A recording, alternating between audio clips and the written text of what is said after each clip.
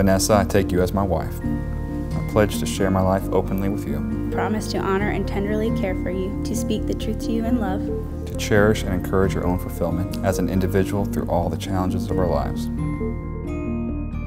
James and Vanessa, by their promises and before God and in the presence of their family and friends, have bound themselves to one another as husband and wife.